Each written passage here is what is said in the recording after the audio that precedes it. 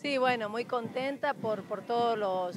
las ceremonias, por los festejos que hemos hecho, pero fundamentalmente porque creo que hemos logrado hacerla conocer a la gente de esta fecha que por ahí pasaba desapercibida y que hoy con 200 años nos llevan a reflexionar sobre todo lo que hicieron nuestros antepasados y sobre todo lo que nos toca hacer a nosotros, sobre la misión que le toca a estos hombres y mujeres del 2020 para que La Rioja realmente pueda ser autónoma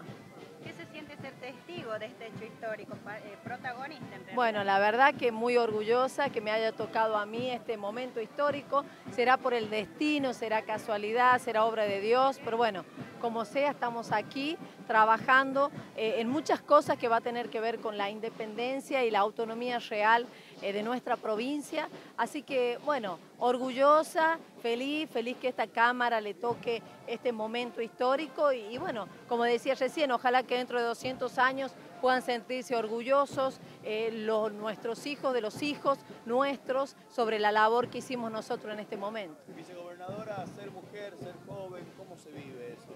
No, muy bien, hay mucha aceptación de la gente, ¿no? Lo veo cotidianamente, creo que estamos trabajando muy bien y bueno, el hecho de, digamos, ser mujer también implica eh, estar constantemente demostrando por qué uno está donde está, es diferente, ¿no? Pero creo que, que la gente en realidad acepta ser conducido por mujeres. Por ahí es, el, digamos, el mundillo más chiquito de la política, el más difícil, pero bueno, yo quiero agradecer a todos, ¿no? A todos los compañeros que han trabajado fuertemente en este momento, al gobernador de la provincia, que, está firme eh, en, en la búsqueda de esa autonomía y por supuesto seguir trabajando en este sentido.